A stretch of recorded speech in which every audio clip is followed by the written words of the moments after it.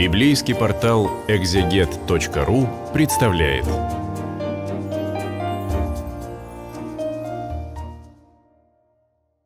Сто четырнадцатый псалом, э, читаю в переводе Российского библейского общества для библейского портала «Экзегет». Предыдущий 113-й, очень его люблю, он э, такой радостный, легкий, и э, в нем мир — это такая огромная игровая площадка, да, где израильтяне, как дети малые, резвятся, радуются, а их защищает Господь, и они с ним. И 114-й, он, казалось бы, другой, он мрачный изначально, но он не мрачный. Я радуюсь, что Господь услышал мой вопль, мольбу мою, склоняет ухо свое ко мне, призывать его буду, пока жив.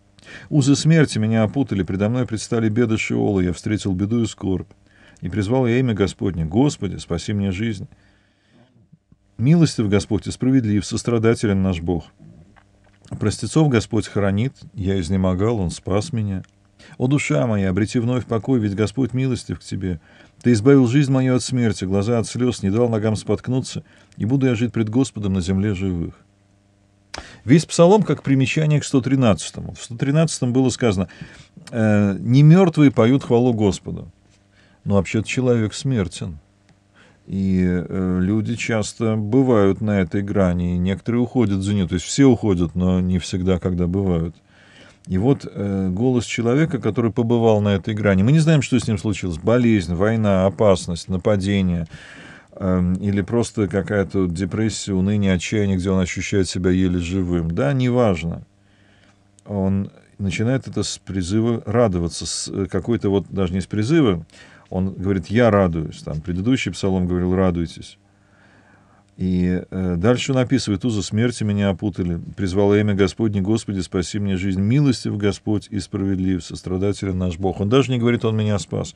Но оказывается, что вот на пороге смерти, что в этой страшной э, долине, где, как ее называют другой псалом, долина сени смертной, где человек оказывается один, он не один. С ним Бог, который его слушает. И э, он призывает уже свою душу, обрети вновь покой, ведь Господь милостив к тебе, я буду жить пред Господом на земле живых. Вот он э, от смерти избавлен, он спасен, спасен в понимании простом земном, он радуется этому, и он ищет, ищет нового начала, новой радостной жизни. Вот краткое примечание и следующее, краткое примечание к 113 псалму, и следующий 115 псалом будет, в общем-то, о, то же, о том же, но немножко другими словами он выразит вот эту радость человека, с которым все было как-то не очень, а потом он увидел, что Господь в его жизни присутствует, и все изменилось.